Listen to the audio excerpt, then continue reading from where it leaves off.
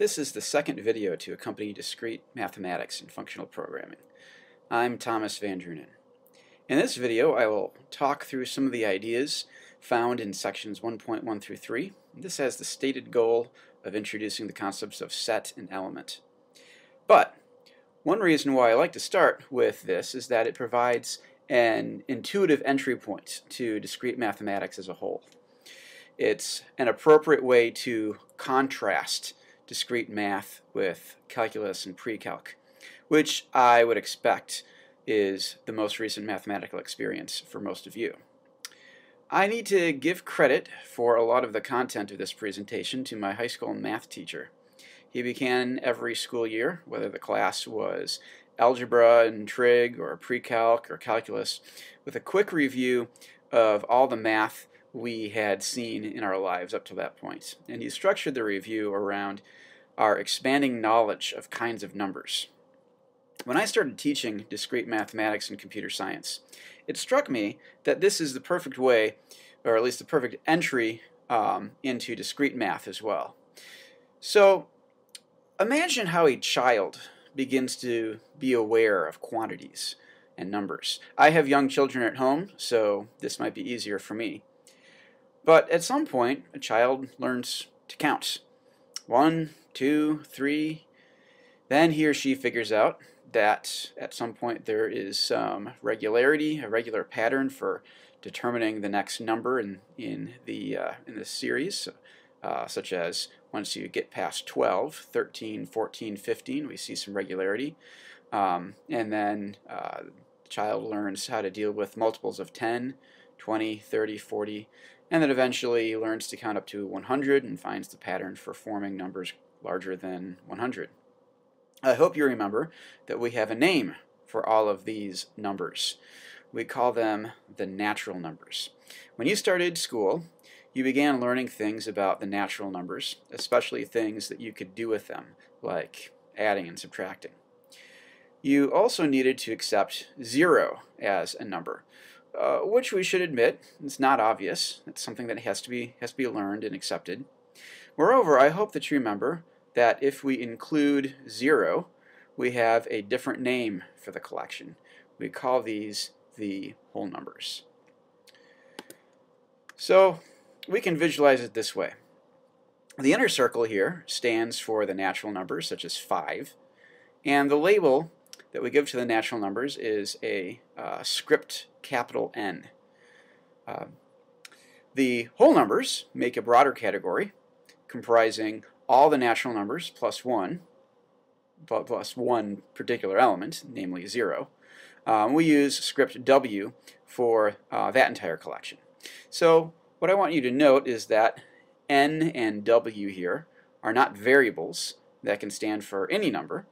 They are in fact constant symbols that stand for uh, the entire collection, which they stand for. Uh, also notice that the size of these circles is meaningless there is an infinite number of numbers packed into the inner circle. Uh, 1, 2, 3, 4, 5, dot, dot, dot.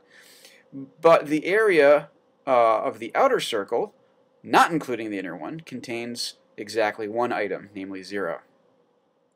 The important thing is we have a broader category that completely contains the subcategory. Now as you learned more about what to do with numbers, you began to see that they were not sufficient to capture everything in human experience that we would like to use numbers to describe. What I mean is that even though if you take two whole numbers and add them together, you will always get another whole number as an answer, subtraction doesn't work out as nicely. What's 12 minus 17? We consider that to be a problem with our number system. And the solution is to invent new numbers. In this case, we need negative numbers, of course. More specifically, whole numbers, together with their opposites, constitute what we call the integers, uh, conventionally labeled with a script capital Z. Now we can add, subtract, and multiply without leaving the realm of integers. In technical language, the integers are closed under addition, subtraction, and multiplication. Division is a different story. What are the results of division when the divisor doesn't divide the dividend ev evenly? Well, our language is already equipped to talk about things like that. We have words like half. Uh, but mathematically, we need fractions, or some equivalent way of denoting the rational numbers. So that gives us a new category with a script Q as a label. Uh, to be clear, recall that the rational numbers are those that can be expressed as a ratio or fraction of two integers. So that includes all the integers themselves, since they each can be written as, for example, 5 over 1.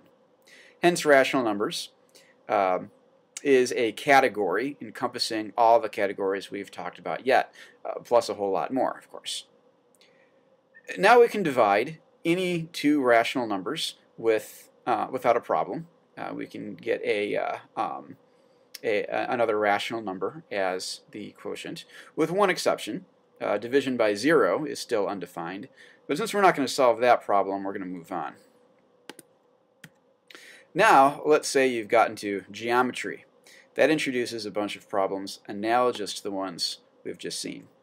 Uh, say you have a unit isosceles right triangle, like the one you see on the left there. What's the length of its hypotenuse?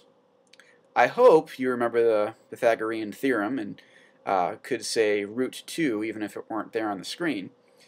Um, but uh, as another example, say that you have a circle with unit diameter. Uh, what's its circumference? Well, you, you know that pi is the ratio of any circle's circumference to its diameter, so if the diameter is 1, then the circumference is just pi. The problem is, root 2 and pi are not rationals. There do not exist integers whose ratios comprehend either root 2 or pi exactly.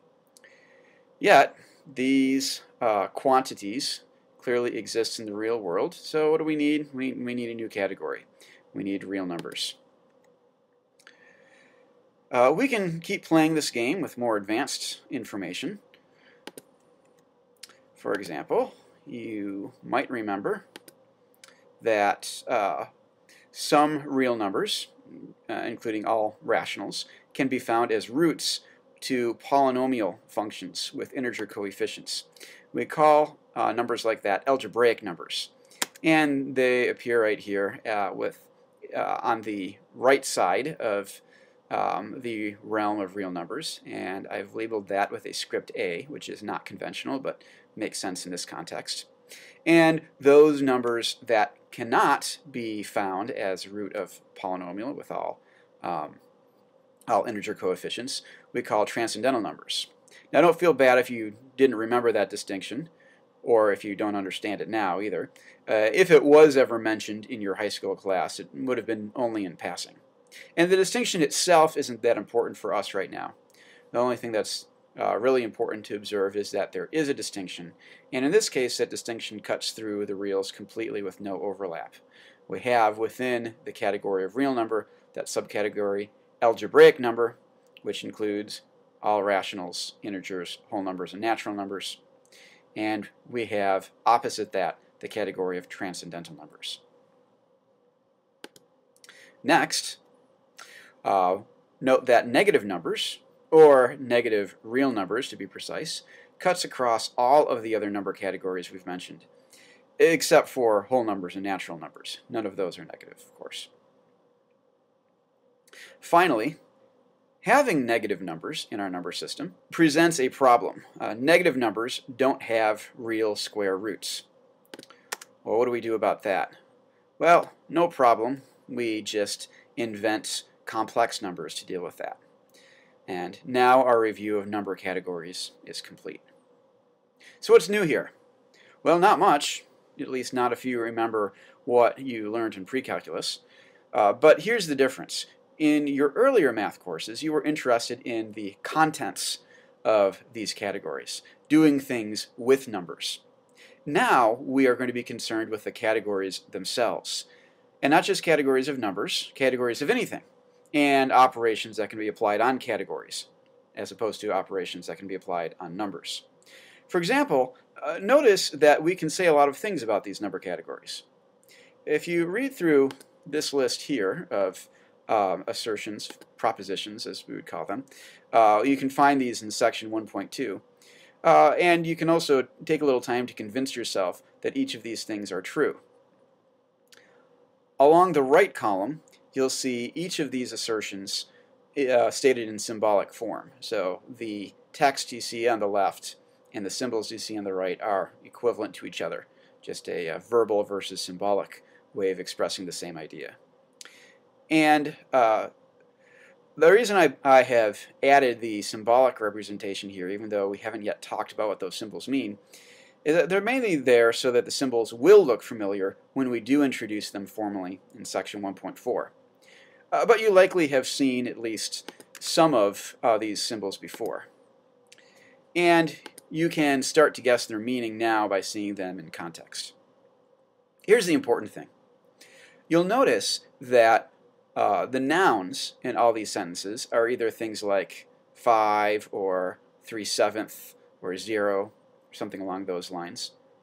Or they are things like script N, script Z, script W. So I've been calling the former things, uh, 5, 3 sevenths, root 2, etc., uh, calling them numbers or items, and the latter things, uh, script N, script Z, etc. I've been calling them categories. But the right terms to use are elements and sets. And I wish I could give you a precise definition for uh, element and for set. After all, I said last time that formal definitions constitute an important theme in this book. But I can't. Uh, there are two simple ideas to define. We call things like these primitive terms. So if you think back to geometry in high school, you'll remember how important the terms point, line, and plane are. And we have intuitive ways to think about point, line, and plane. Specifically, we can think of a dot or a taut string or a tabletop. But uh, you may remember that geometry doesn't begin with precise definitions of these things. Instead, you'll remember that the relationships among primitive terms in geometry are described using postulates or axioms. People who do set theory carefully also start with a set of, of axioms, but a full axiomatic system is a little beyond our scope here. You can take a look at two axioms to see what it would look like, however. So the first of these two axioms, labeled as existence, namely, there is a set with no elements, uh, merely asserts that there is such a thing as an empty set. The second, which is commonly called the axiom of extensionality, uh, if every element of a set X is an element of a set Y, and every element of Y is an element of X, then X is equal to Y. That says that if we have two sets with exactly the same elements, then they're really the same set. In other words, the order of the element doesn't matter. Thus, we can define a set as an unordered collection of elements. That's still an informal definition, though. And elements, well, elements can be anything, so we won't define that any further than that. Uh, the last thing to mention is a little bit about basic notation. You can describe a set by listing its elements separated with commas between two curly braces.